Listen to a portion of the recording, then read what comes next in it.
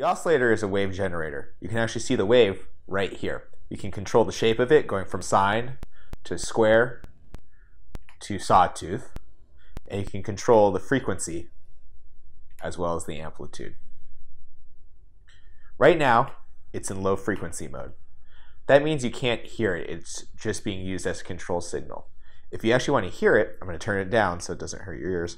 I'm going to switch it to high frequency, where the wave is going so fast it can actually be heard. And this is how all sound waves work. And when you're hearing it, the frequency actually ties to the pitch, right? So when you turn it down, it's low. When you turn it up, it's high. And the amplitude is the loudness of the signal. So, and also the shape changes how it's perceived as well.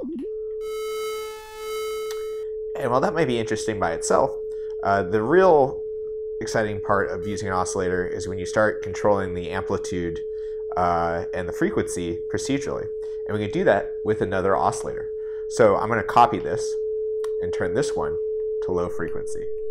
We can take the output from this low frequency oscillator and plug it in to control, say, the frequency of this oscillator. So here it go up and down based on this, and if I change the shape, now it's a sawtooth. So it's matching that.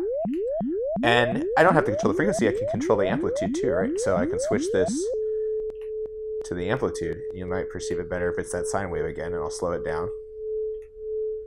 And you can see how that is now being controlled by that.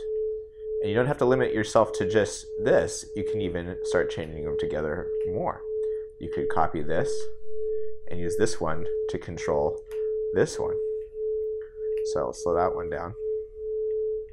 And now this wave is controlling this one, which is controlling this one.